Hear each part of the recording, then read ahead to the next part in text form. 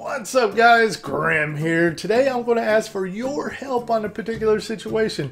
I have arranged for an interview with Ocho himself. Yes, a Trion employee is going to be answering all the questions that we have about the game of Rift. So if you have any questions or suggestions you would like me to ask Ocho, just leave it in the comment section below and I'll look at them and try to figure out the best questions to ask him without taking up too much of his time.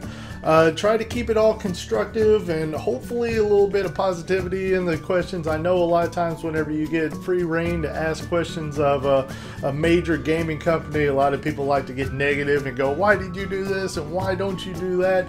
But let's keep it a little bit positive. You can ask the hard questions, just let's keep it constructive.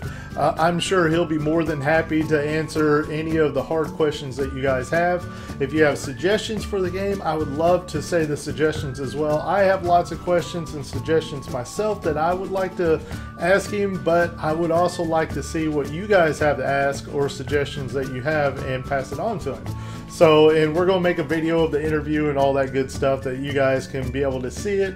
And uh, yeah, hopefully you'll enjoy it. So, leave comments in the comment section below. Uh, I'll go ahead and give away what a 30 day patron pass just in the comment section below, and we'll uh, we'll announce the winner at the time of the video. And then uh, also, I have the other 30 day patron pass giveaway that's being done this weekend. So, I hope you guys enjoyed the video. Punch the like button and go ahead and leave your comments and suggestions below. As usual, my name is Grim, and I'll see you next time.